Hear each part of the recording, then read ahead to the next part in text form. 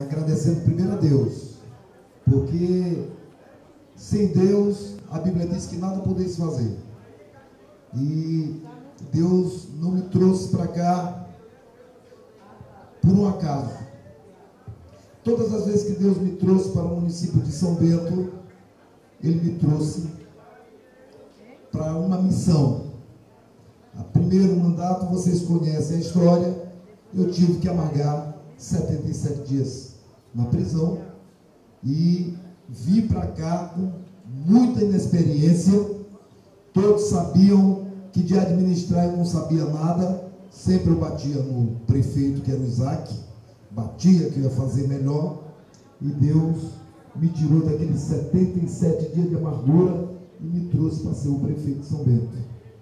Quando eu iniciei na prefeitura o trabalho, eu tive muito medo, porque eu ficava me perguntando, meu Deus, eu quis tanto ganhar essa prefeitura, e agora?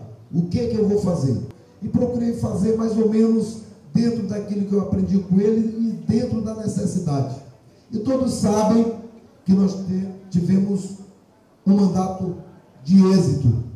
Tanto um mandato de êxito, mesmo com dificuldade, que me trouxe novamente para a prefeitura.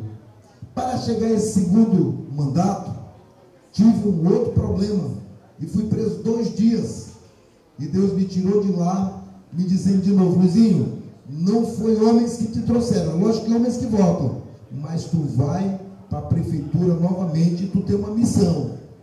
E essa missão que ele me deu foi bem mais árdua do que a primeira. Olha que a primeira eu passei 77 dias de xadrez, saí e fui oito anos prefeito.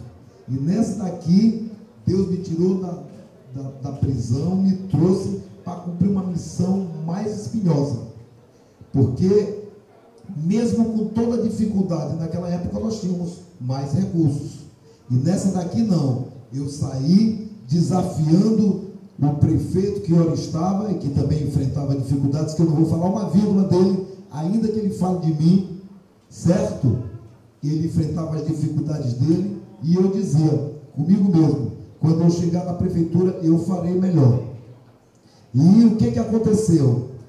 Vocês viram como eu recebi a prefeitura de São Bento. Não é possível, não é possível mesmo que o nosso povo tenha esquecido como nós recebemos o município de São Bento. Totalmente destruído, mas totalmente mesmo. No que diz estrada, no que diz ponte, sem falar dele, eu acho que ele estava enfrentando dificuldades financeiras. E eu disse que faria melhor. E aí as pontes quebradas, e aí os mini postos fechados, sem remédio, sem médico, tudo parado. Tudo parado. Sem uma ambulância no hospital. Eu quero só estou relembrando. Todos os transportes quebrados, todos. Eu não achei uma máquina, parece que a Patrol estava funcionando precariamente. Aí assumi esse município no ano passado, porque para os adversários, como eu também, quando sou adversário, mas faço uma política diferenciada, o interessante é dizer, bater, bater, e eles nunca mostram o que tu faz. Estamos batalhando com o nosso deputado para colocar isso daqui como uma regional. São Bento é a maior cidade de, entre essas oito, nove cidades que nós temos. Então São Bento vai regionalizar essa turma é a segurança pública que nós queremos trazer para cá, um batalhão.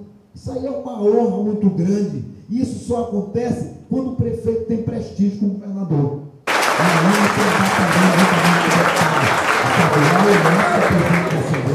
o deputado federal nosso, que é um deputado legítimo federal, que vocês sabem que defende o país, o presidente, é o Rubem Júnior, certo? Nós temos um governador nós temos o governador Flávio Dino, que não tenham dúvida, eles são três contra um.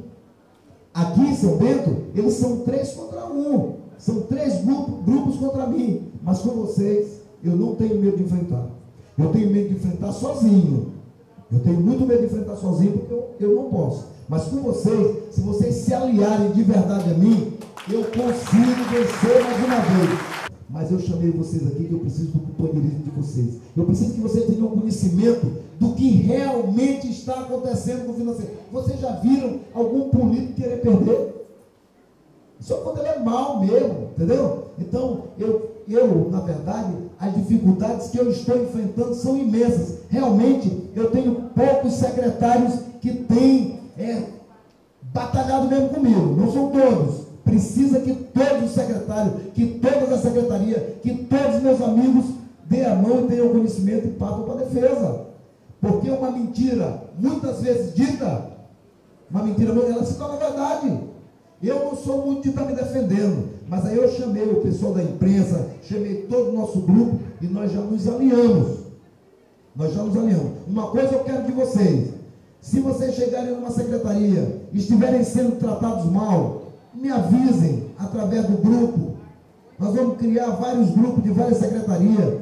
Se vocês souberem que o nosso povo está sendo maltratado no hospital, que o nosso povo está sendo maltratado na, em qualquer área do nosso município, me avisem, porque para mim é mais importante o povo do que o funcionário nesse caso. Certo? Porque um funcionário pode me dar mil votos. Certo? Um bom funcionário pode me dar mil votos. Basta que ele trate muito bem. Às vezes eu quero chegar lá no hospital é, para ser atendido. Tem que alguém, vocês sabem, tem as pessoas que usam perfume de primeira, de segunda, de terceira, de quarta, e tem até aqueles que não usam. E aí você tem que ter o carinho, meu filho, senta aqui. Toma um cafezinho ali. Certo? Isso vai fazer a diferença. Isso vocês vão estar me ajudando demais. São dois pontos que eu preciso de vocês. Companheirismo total comigo. Irmão, quando eu convidar vocês para um café, vamos todo mundo. Porque daqui a pouco você chama seu marido, você chama sua filha, você chama seu vizinho e a gente vai fazendo uma grande família, uma grande multidão.